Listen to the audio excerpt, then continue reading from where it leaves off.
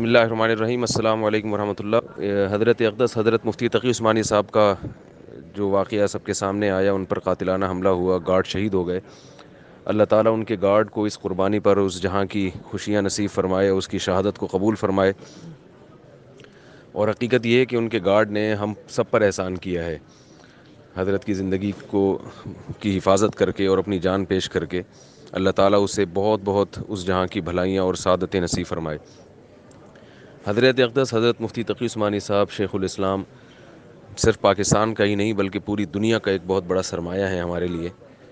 اور پوری دنیا میں آپ کی جو عزت ہے، آپ کے علم کی وجہ سے، آپ کے تقوی کی وجہ سے، اور آپ کی جو توازو ہے، للہیت ہے، اس کی وجہ سے وہ ناقابل بیان ہے۔ کیونکہ اللہ تعالیٰ نے آپ کو حدیث میں آتا ہے، رسول اللہ صلی اللہ علیہ وسلم نے فرمایا کہ اللہ تعالیٰ جب کسی سے محبت کرتے ہیں تو جبریل کو حکم دیتے ہیں کہ تم بھی اس سے محبت کرو اور پھر جبریل فرشتوں کو حکم دیتے ہیں وہ بھی اس سے محبت کرتے ہیں اور پھر اللہ تعالیٰ اس کی محبت کو زمین پہ اتار دیتے ہیں۔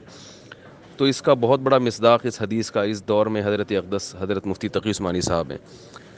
آپ کا فرقواریت سے، مسلک پرستی سے کبھی کوئی تعلق نہیں رہا۔ ہمیشہ اسلام کی آپ نے بات کی، اسلام کی خدمت کی۔ اسی وجہ سے آپ کو اللہ نے پوری دنیا میں، عرب میں، عجم میں اور عرب کے بڑے بڑے مشائق مکہ اور مدینہ کے، وہ آپ کو عزت کی نگاہ سے دیکھتے ہیں، آپ کی عزت کرتے ہیں، آپ کی صلاحیتوں کے معترف ہیں۔